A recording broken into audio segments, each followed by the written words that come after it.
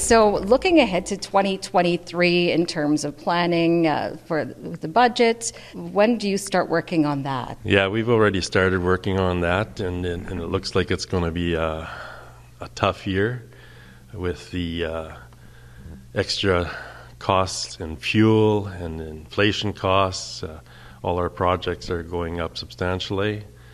Um, we're also still awaiting word on the wastewater project that we want to move forward, hopefully this year. Uh, hopefully, we can put that out to tender again maybe this summer sometime. It's going to be a challenge, but uh, hopefully, we can make that work.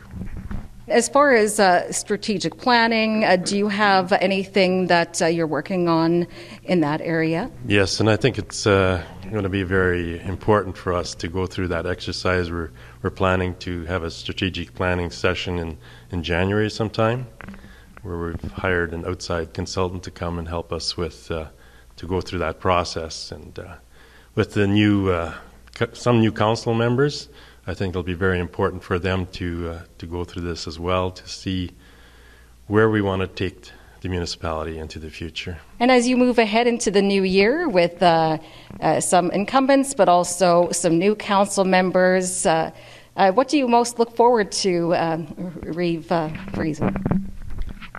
Yeah, we have two new council members with us now, and um, I look forward to working with them. They've already shown their their knowledge and experience and, and things, it's it's good to have uh, new ideas come up.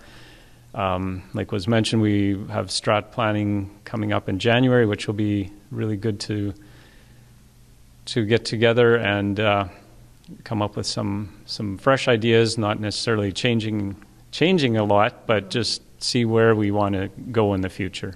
Thank you very much, uh, Deputy Reeve uh, Peter Froese and uh, RM Stanley Reeve Ike Friesen. I appreciate you taking the time.